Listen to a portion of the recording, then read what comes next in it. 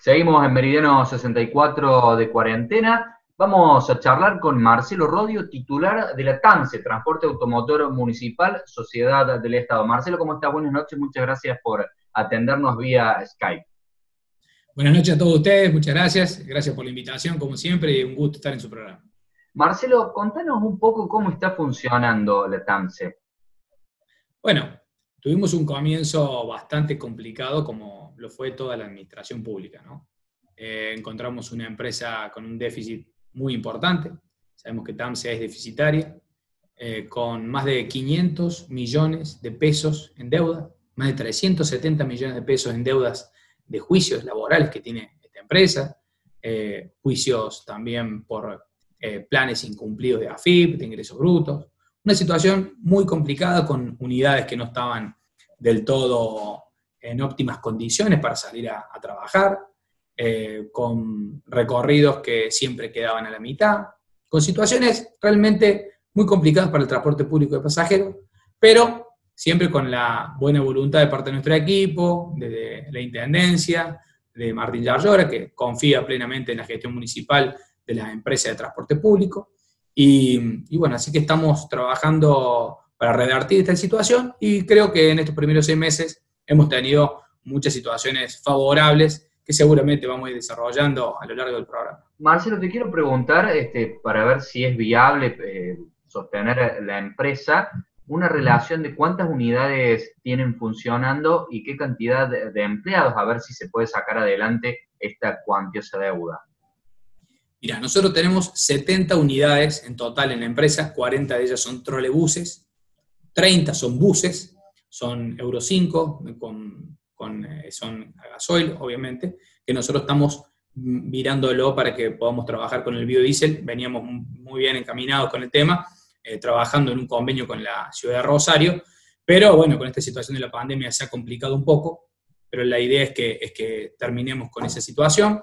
Eh, nosotros tenemos 250 empleados, obviamente está por arriba del promedio que tiene que tener empleado por, por empresa. Esos empleados obviamente se, heredaron de, gestiones anteriores.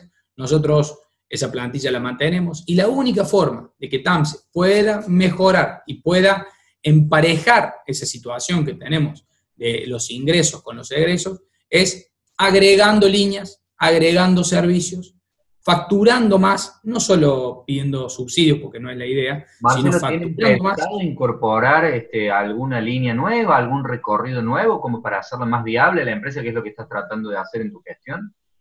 Bueno, ah, sabes cómo estos días hemos incorporado la, nueva ampliación a la línea A, eh, que vamos desde, desde lo que es Alta Córdoba, llegamos hasta Plaza de las Américas y nosotros extendimos hasta Parque Atlántica pasando a la Rotonda de las Flores, y que realmente es un, puntapié para, seguir ampliando las demás líneas que tenemos de la línea TAMSE. Acuérdate que la línea TAMSE tenemos la línea A, la línea B y la C.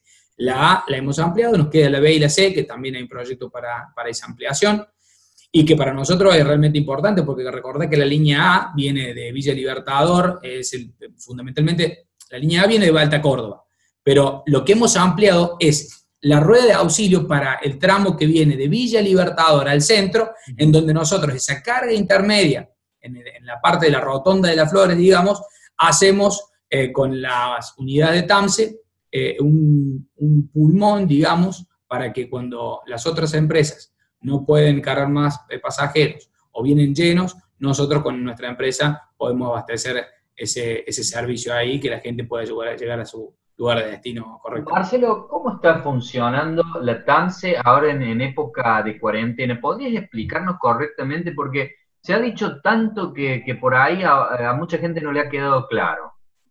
Bueno, hemos pasado por todas las situaciones, ¿no? Realmente ha sido una. Nos, estamos recibiendo de máster en, pandemia en el transporte público, porque eh, realmente uno, si pensaba que iba a pasar esto al comienzo, era, era muy loco que, que que pensáramos que podía pasar esta situación.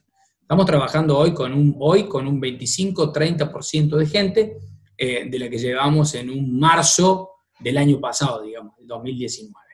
Estamos transportando esa cantidad de gente, hemos transportado mucho menos, hemos llegado al 7-8% en algunos días, desde que comenzó esta pandemia. Imagínate, 8% de lo que se transporta en un día normal. Ya la TAMSE tenía problemas antes de, transporte de, pasajeros, de la cantidad de pasajeros. Imagínate ahora. Bueno, pero hemos, hemos avanzado, gracias a Dios, estamos en una etapa de esta charla que estamos teniendo, que hemos pasado en una etapa bastante complicada, pero bueno, obviamente... perdón, ¿quiénes pueden subir este, a, un transporte público hoy en día? ¿Cuántas personas? Si se puede viajar parado, si se pueden utilizar todos los asientos, ¿qué protección tienen las personas que, manejan? Bueno, recuerda que la organización, el reglamento, cómo nosotros debemos eh, manejar la situación dentro de nuestro colectivo, lo hace el COE provincial. Nosotros nos eh, trabajamos mediante esa modalidad. Y obviamente en este momento eh, el pasajero debe ir sentado en, toda en, todos los asientos que tenemos en cada una de las unidades, salvo en los dos primeros. Quiere decir que todo el pasajero puede sentarse en cualquier parte del colectivo. Siempre hablamos del, distanciamiento social, que eso le pedimos a la gente, que, que no estemos todos juntos y que no nos transportemos todos juntos. Hay una cabina física que una barrera física que separa a la conductora del resto del pasaje. Los dos primeros asientos eh, no, puede, no puede sentarse nadie, obviamente, porque para que haya un, distanciamiento social con la conductora. Hay alcohol en gel en todas las unidades. Tenemos una, cámara de, que nosotros trabajamos con una máquina de ozono, eh, que bueno, que realmente en cada punta de línea, cuando hacemos el proceso de sanitización, al final del día o de cada vuelta, eh, la, ponemos en la unidad y queda realmente espectacular, mata hasta el 98% de gérmenes y bacterias.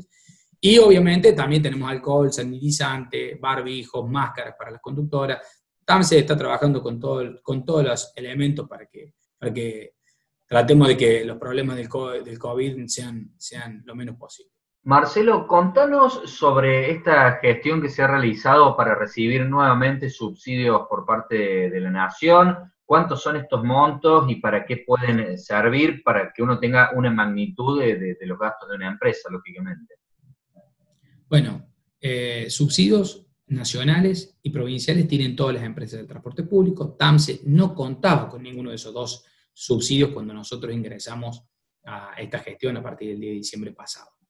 Bueno, ahora gracias a la gestión que hemos llevado adelante con el intendente Martín Yarlora, con la Secretaría de Movilidad, que venimos trabajando fuertemente en que TAM se pueda recuperar lo que una vez tenía, lo que se le sacó en, algún momento. Eh, es por eso que ahora vamos a tener mensualmente un aporte nacional de cerca de 3 millones de pesos eh, como subsidio nacional. Y eh, está ah, seguramente por venir también el subsidio provincial, que estamos trabajando fuertemente también con la Secretaría de transporte de la provincia, porque creemos que la TAMS es una empresa municipal, del Estado municipal, debe tener ese, ese aporte, y que esto le sirve muchísimo a la empresa para, bueno, así poder salir de, del ahogo financiero que, tiene la misma. ¿Nos sirve? Nos sirve para mucho, claro que sí. Es como que si con esa plata podemos prácticamente comprar un colectivo más por mes, eh, para, para cuantificarlo en algo. Es un colectivo prácticamente por mes, si llegan esos, esos subsidios cuando los tengamos. Entonces, es muy importante. Marcelo, te agradecemos mucho por haber formado parte de Meridiano 64.